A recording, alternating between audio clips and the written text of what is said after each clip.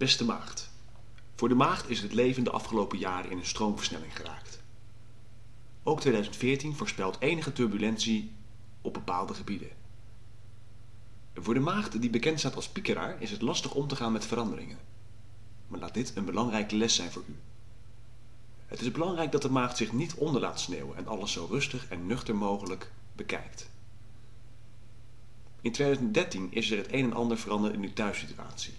Dit kan zijn door het overlijden van een dierbaar familielid of door de geboorte van een nieuw familielid. 2014 wordt het jaar om de oude strijdbijl te begraven, zeker als het om uw naaste gaat.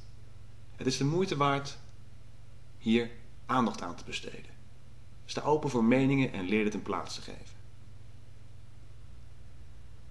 Wil je weten wat je nog meer te wachten staat in 2014? Ga dan snel naar www.gratishoroscoop.nl